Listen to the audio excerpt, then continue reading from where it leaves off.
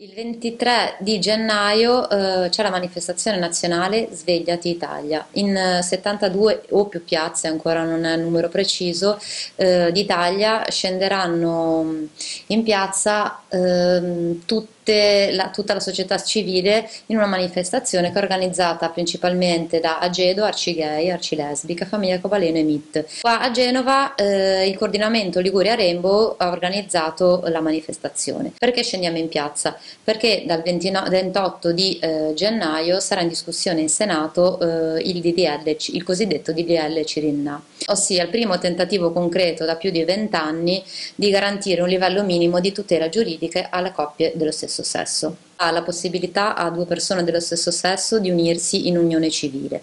Eh, questa unione civile dà dei diritti, eh, quali il diritto alla reversibilità, il diritto di successione, il diritto all'assistenza sanitaria, il diritto al subentro nel contratto di affitto e, cosa più importante, dà la possibilità a due persone omosessuali eh, di, di, ehm, di, usufruire del cosiddetto concetto dell'istituto della stepchild adoption, quell'istituto giuridico che permette a uno dei due membri della coppia di essere riconosciuto come genitore del figlio biologico del compagno. Quindi questo istituto eh, darebbe la, la possibilità al genitore non biologico di diventare genitore del figlio del compagno, di un progetto di vita fatto insieme. Intanto eh, una tutela minima che viene riconosciuta a questi bambini, minima nel senso che ehm, il genitore eh, diventa genitore sì, però ha delle condizioni, nel senso che il figlio non, non avrà mai mai legami di parentela con i propri nonni eh, del genitore non biologico, non sarà mai fratello o sorella del, dell'altro figlio che non viene adottato,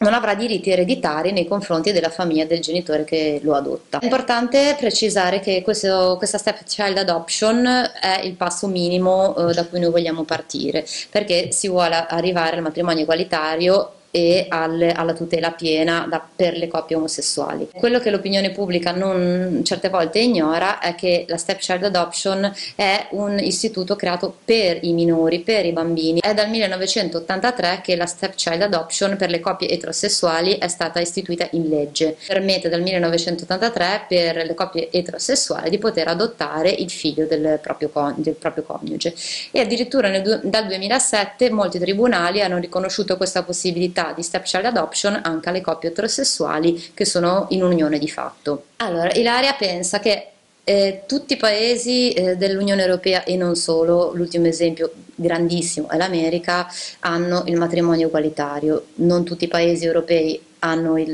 matrimonio egualitario ma hanno unioni civili, io penso che se, se, se qualsiasi politico leggesse la Costituzione e la Convenzione eh, dei diritti dell'uomo a cui l'Italia aderisce pacificamente riconoscerebbe che eh, non dare i diritti eh, alle persone omosessuali discriminandole proprio per il proprio orientamento sessuale è una vera e propria negazione dell'uguaglianza sancita dalla nostra Costituzione. Il DDL Cirinà sia proprio il primo minimo passo che eh, il Parlamento europeo nel 1994 ha invitato l'Italia a fare e sia il minimo passo per arrivare al matrimonio egualitario di tutte le coppie, quindi sia eterosessuali, cosa che c'è già,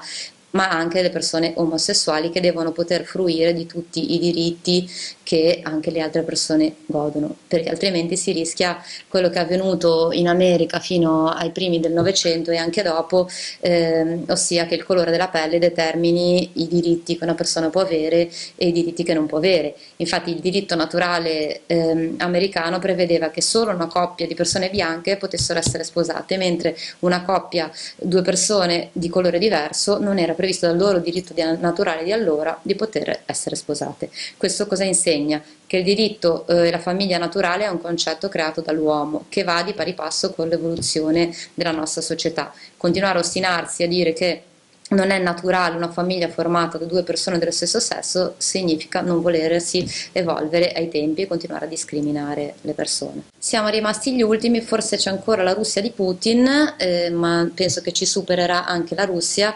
e la situazione eh, è grave, nel senso che nel luglio del 2015 la Corte di Strasburgo ci ha sanzionato perché non ci siamo dotati di un sistema di tutela per le coppie dello stesso sesso, neanche minimo, perché non era previsto obbligatoriamente veramente il matrimonio, ma neanche le unioni civili ci sono state istituite nel nostro paese e direi che eh, è arrivato il momento di opporsi a, a, a,